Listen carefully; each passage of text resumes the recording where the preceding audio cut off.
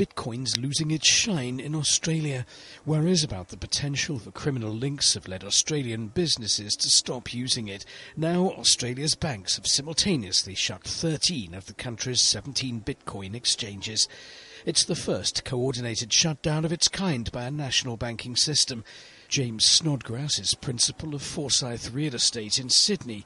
His firm was investigated by the Federal Tax Office over a scheme to collect home deposits and fees in bitcoins.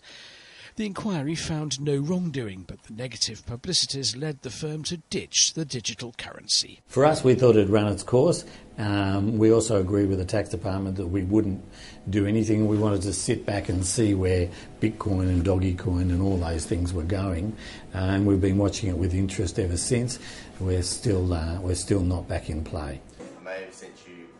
The Grand Metropolitan Hotel in Sydney started accepting Bitcoin when a group of digital currency fans chose it as the venue for their regular weekly meetings.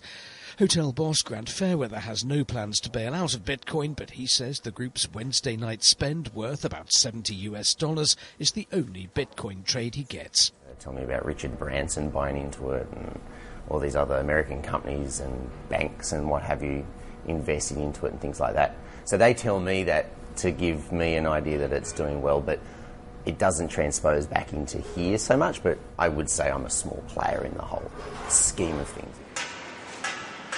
Australia's remaining Bitcoin exchanges now have three options close down, move overseas, or spread their business over several smaller bank accounts to avoid detection.